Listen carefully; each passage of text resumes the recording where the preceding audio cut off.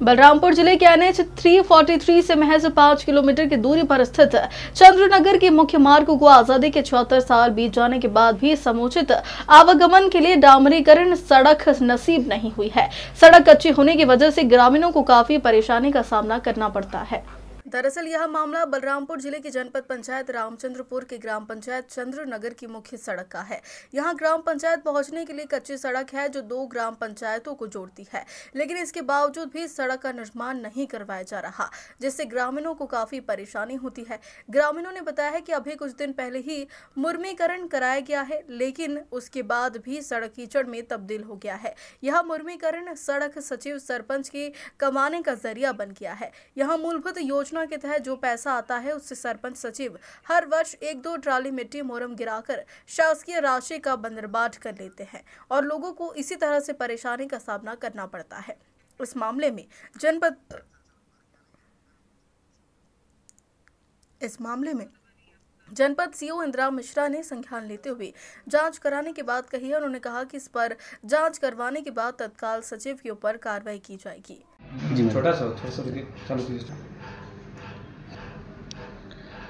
इसकी जाँच करा कर ही इसके बारे में मैं कुछ कह पाऊँगी। जाँच कराने पर अगर अनियमितता पाई जाती है तो कार्रवाई की जाएगी सचिव के विरुद्ध एक और है। दो सालम। रोड की समस्या ये है कि राष्ट्रीय मार्ग 343 से महज दो किलोमीटर की दूरी पे चंद्रनगर गाँव जो रोड की इतनी बदतर हालत हुई है जिस पे महिला बहुत दिक्कत और परेशानी की बात है। अगर किसी व्यक्ति को कुछ तकलीफ़ रात में हो जाए तो महज दो तीन किलोमीटर की दूरी पे राष्ट्रीय मार्ग से जोड़ने वाली जामनपुर के हॉस्पिटल जाने तक में वो दम तोड़ दे। सबसे पहले यहाँ पर बीजेपी की सरकार थी। उस समय राम विचार नेताम जी ने वादा किया था कि ए, हमारी सरकार बनेगी हम इस क्षेत्र के विधायक बनेंगे तो इस मार्ग की हम डमरीकरण करेंगे। इसके यहाँ कांग्रेस की सरकार बनी पंद्रह साल के बाद। जो गिरिग्राम किरवाशिला के रहने वाले थे और उनके गृह ग्राम से जुड़ने वाली चंद्रनगर, नेहरू नगर, नगरा, भोरमाल जोड़ती थी, वो मार्ग ऐसी हालत हुई है। अबरार अंसारी है, ग्राम चंद्रनगर से हूँ मैं। आज़ादी से पचहत्तर साल बीत गया, अभी तक रोड का वही हाल है। जाते जाते पूरे गंदा हो जाते, पूरा वाइट रहता है कपड़ा, पूरा लाल हो जाता है। इतना स्थिति बुरी हाल है। पूरा गड्ढा, लगता है कि पूरा तालाब है। वो मत के ये जो फैक्ट्री होता है, धूल के मारे पूरा बर्बाद हो जाता है।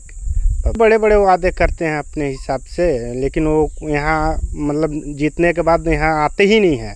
ये क्या बोलना उन लोग को? ये राम विचार रहे पंद्रह साल पहले, पच्चीस साल पहले रहे विधायक यहाँ से।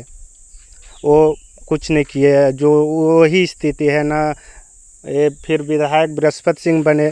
दस साल उनका रहा दस साल में वो मुश्किल से दो बार आए। और दोनों बार आने के बाद वो अपने वादे करते थे कि रोड मैं इस बार ऐसा आऊँगा कि वो, ये रोड जब तक नहीं बनेगा मैं नहीं आऊँगा, विधायक जी बोल रहे थे।